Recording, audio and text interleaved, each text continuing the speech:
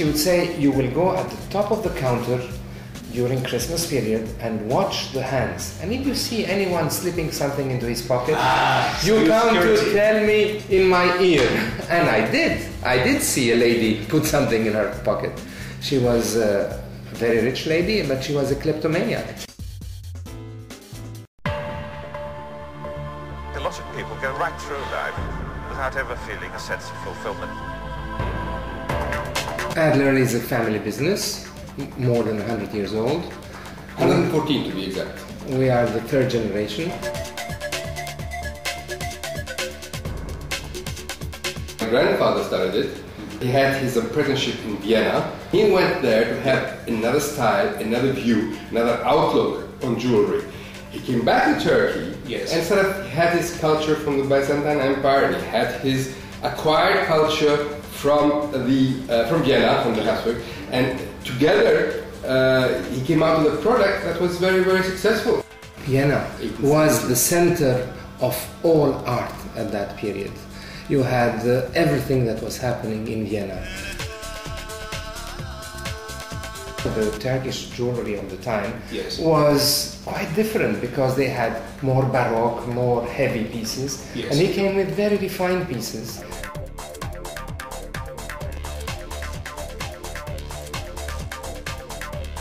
My school was right above the shop, and every night, because he offered me chocolate cake, I would go down after school, but actually it was his way of getting me into the, ah. and already vaccinating me.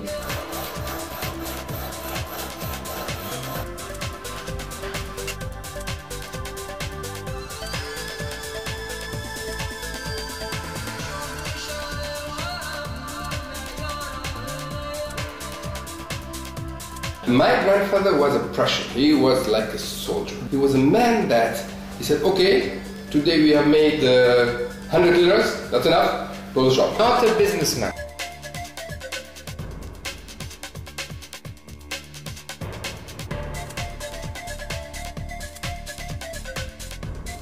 He wasn't at all ambitious. No Really ambition. And your father? My father Much more. much more by reaction already. He was going crazy when he saw the way my grandfather acted. Because my grandfather, if he didn't like a customer, well, Throw him out. he threw him out. It's as simple as that.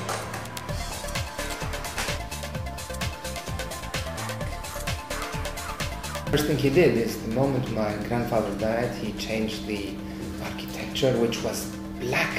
What he actually did is take an axe and break the shop. He to pieces. Demolish. Because he, With an he had uh, uh, such strong feelings and he was trying so hard for such a long Yeah, time. broke it down. And the shop was black, you Was- know. was oppressive. He took a good architect, which Yes. was a Swedish architect living in Turkey, Yes. and uh, Changed the whole idea. completely made a total modern concept of the shop. And that's where we had immediately other customers than the Turkish customers. I came back from uh, Brighton and I immediately started working in a workshop which was run by an Armenian craftsman who was very good. Yes. And that's where I learned how to make jewelry. I actually worked two years. I never became a great artisan because two years is far from enough. Clear. But I got the basics, and the basics allow you to see later in life if a piece is well finished or not. When did the concept of Adler leave Turkey and become international? In 72. Uh, Geneva was the place where my brother was. Geneva was the place which I visited very often. Geneva was a wonderful little city with uh, lots of craftsmen and jewelers and watchmen. Clear. Uh, really the center of Europe.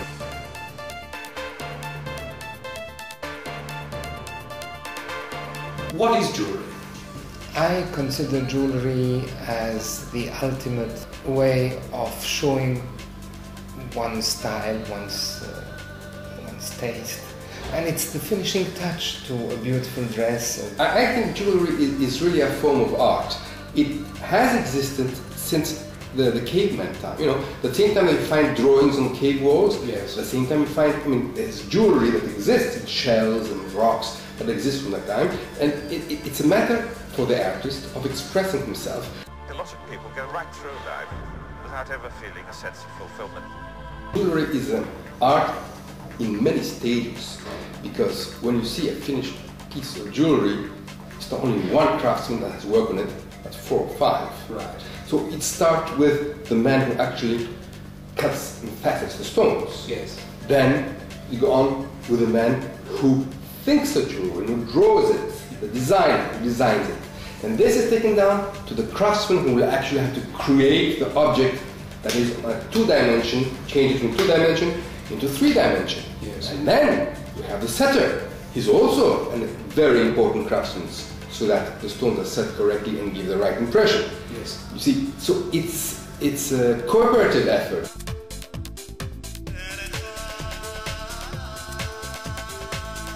Being a small company, you can you are flexible. You can change with the wind. You, you have Definitely. feedback all the time. You feel, you hear the customer. What you there are comments uh, all the time, and then if we don't like something, we are small enough to stop production and go in a totally different direction. We had uh, one of the princesses who was going to have a child, and she knew it was going to be a daughter, and uh, and uh, she wanted everything in pink.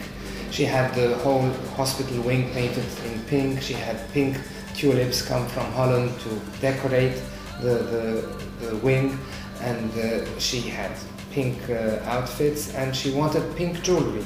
And pink, we had to use coral pink pearls, uh, diamonds. Uh. Well, she brought us a piece of material, a piece of silk, and said, "Look. I want this material as a as a Backdrop. background, and on top I want the pink pearls come in, and and we made her design with that, and it was perfect. Then she said, "Well, I said, where do you buy the material?" So she, she gave us the address of the place in Paris. We called. It was August. It was closed. We tried to get the factory. Factory was closed. They told us that they had someone in Italy. We tried Italy. Italy was closed.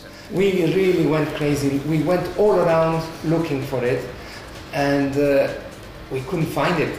And one day we just were lucky, and we found a beautiful pair of underpants, you Women's know, underpants. women's underpants, Not with men's lace on the back, With lace- with exactly lace on the the back, and the material in the front, you know, and. uh, 600 Swiss francs. We immediately bought it. we cut the, the underpants and made uh, the, the, the Tell piece- me, tell me the truth, Franklin. You still wear those underpants?